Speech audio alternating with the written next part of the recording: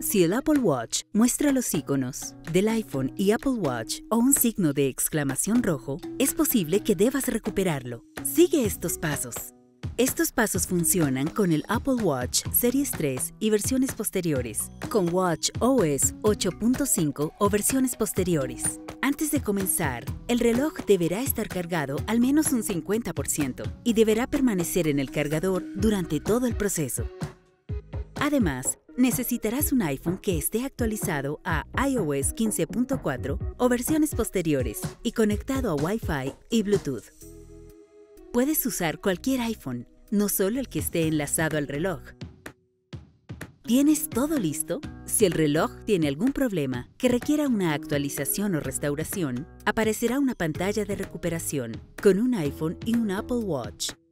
En cambio, si aparece un signo de exclamación rojo, haz doble clic en el botón lateral para abrir la pantalla de recuperación.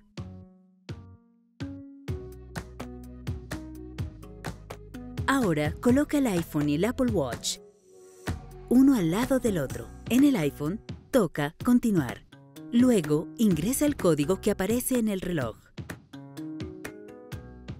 El reloj ahora comenzará el proceso de recuperación, que podría tardar un poco. Puedes usar el iPhone mientras tu reloj se recupera, tocando OK, pero mantén el Apple Watch conectado al cargador. Durante el proceso de recuperación, el Apple Watch se actualizará a la versión más reciente de Watch OS. El Apple Watch se reiniciará una vez finalizado el proceso y verás la carátula y las complicaciones que hayas seleccionado. Si aún necesitas ayuda, comunícate con el soporte técnico de Apple. Para obtener más información sobre los dispositivos Apple, suscríbete a este canal o haz clic en otro video para seguir mirando. Algunas secuencias de este video se acortaron.